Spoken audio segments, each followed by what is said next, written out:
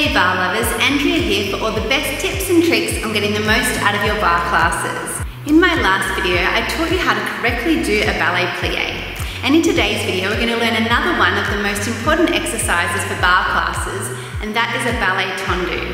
When you know how to perform a tendu absolutely correctly, you get so much more out of your barre classes and you really learn how to use the muscles of your feet and legs in a way that help you lengthen, strengthen and tone. This is perfect if you're a barre class addict, but even better if you're a barre teacher because then you can pass on this correct technique along to your students.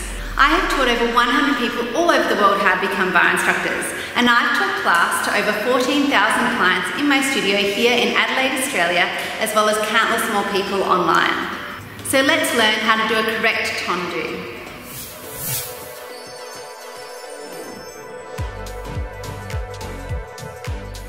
So for our perfect ballet tendu, let's start with our feet in first position. Just a natural turnout, you don't want to overstrain the turnout muscles like you're a prima ballerina in a ballet company. You just want to work on a natural turnout so you don't strain through the knees or the hips.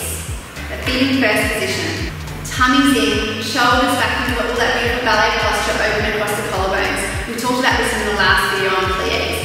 Now, to do a tendu, you want to really use the foot in the floor so you press the whole time, touching the foot on the floor take a half point. Knees stretch the whole time on that demi point. Then you put, pop the toes on the end.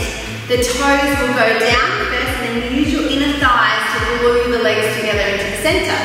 Transfer the weight to take the other side. So you go pressing out, demi point, full point, demi point, and close. Now I've got this bit of paper here because I like to demonstrate in my classes with paper like this. Because if I do a tendu incorrectly I don't use my foot on the floor, I don't take the paper with me. But to do it properly, I slide out, the paper moves, I slide, I slide and the paper comes with me. So if I'm doing a tendu absolutely correctly, that piece of paper won't move underneath my foot. Alright? So now you know how to do a perfect tendu and you know how to work your legs in the right way to get your dancer's body.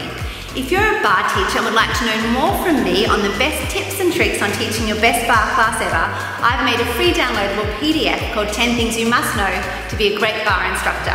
You can download this by hitting the link in the description section right below this video. If you found this helpful, please let me know by leaving a comment below and be sure to subscribe for new videos that I post every single week. Share with your fellow barre lovers and hit the like button below so I know to make more videos that follow on from this one. See you in the next video.